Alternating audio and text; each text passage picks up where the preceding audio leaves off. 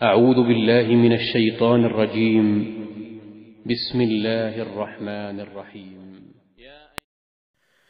بسم اللہ الرحمن الرحیم السلام علیکم ورحمۃ اللہ وبرکاتہ آج بات کریں گے برج اور ستارے کے حوالے سے کہ بہت سارے لوگ ہیں جو اپنے برج اور ستارے کے بارے میں معلومات لینا چاہتے ہیں کہ ہمارا برج اور ستارہ کیا ہے، لیکن اس کے لیے ان کو معلومات نہیں مل سکتی اور اس کے علاوہ بہت سارے لوگ یہ بھی معلوم کرنا چاہتے ہیں کہ ان کے حق میں کون سا رنگ اچھا ہے، کون سا ان کے لیے ہندسہ اچھا ہے۔ اس حوالے سے بھی آپ کو گائیڈ لائن جو ہے وہ ملے گی۔ تو برج اور ستارہ جو انسان کے لیے وہ اس کا کون سا ہے اور اس کے حق میں وہ کیسا ہے، کیا ہے اس کی ڈیٹیل، یہ آپ کو تمام تر چیزیں جو ہیں وہ مل جائیں گی ہمارے چینل سے۔ تو سب سے پہلے دسمبر سے، بائیس دسمبر سے بیس جنوری کے درمیان جن کی پیدائش ہے، بائیس دسمبر سے بیس جنوری اس کے درمیان جن کی پیدائش ہے، ان کا برج جدی ہے اور ستارہ زحل ہے۔ اور اکیس جنوری سے انیس فیبروری تک یعنی اکیس جنوری سے انیس فیبروری تک جن کی تاریخ پیدائش ہے، ان کا ستارہ، ان کا برج جو ہے، وہ دلو ہے اور ستارہ ان کا زحل ہے۔ اور بیس فروری سے بیس مارچ تک بیس فیبروری سے بیس مارچ کے درمیان جن کی تاریخ پیدائش ہے، ان کا برج حوت ہے اور ان کا ستارہ مشتری ہے۔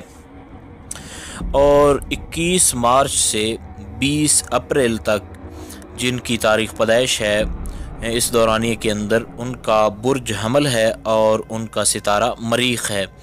اور اکیس اپریل سے بیس مئی تک جن کی تاریخ پیدائش ہے، ان کا برج سورا ہے اور ستارہ ان کا زہرہ ہے۔ اس کو زہرہ بھی بعض حضرات نے لکھا ہے اور لیکن زیادہ اس کو زہرہ ہی بولا جاتا ہے۔ اور اکیس مئی سے بیس جون تک جن کی تاریخ پیدائش ہے، ان کا برج جوزہ ہے اور ان کا ستارہ اتارد ہے۔ اور اکیس جون سے اکیس جولائی تک جن کی تاریخ پیدائش ہے، ان کا برج سرطان ہے اور ستارہ ان کا کمر ہے۔ اور بائیس جولائی سے بائیس اگست کے درمیان جن کی تاریخ پیدائش ہے، ان کا برج اسد ہے اور ستارہ ان کا شمس ہے۔ اور تیئیس اگست سے بائیس ستمبر تک جن کی تاریخ پیدائش ہے، ان کا ستارہ جو ہے وہ اتارد ہے اور برج ان کا سنبلہ ہے۔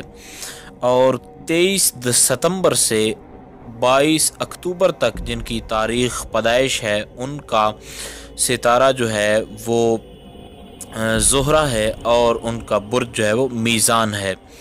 اور تیئیس اکتوبر سے بائیس نومبر تک جن کی تاریخ پیدائش ہے، ان کا برج جو ہے وہ اقرب ہے اور ستارہ ان کا مریخ ہے۔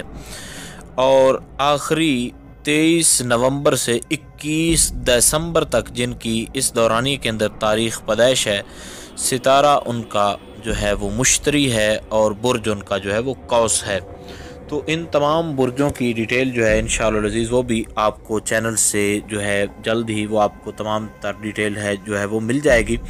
تو یہ انتہائی عام اور ضروری معلومات تھی جو کہ ناموں کی حوالے سے کہ بہت سارے لوگوں کی تاریخ پیدائش کے حوالے سے ان کو پتہ نہیں تھا کہ ان کا ستارہ کیا ہے اور ان کا برج کیا ہے۔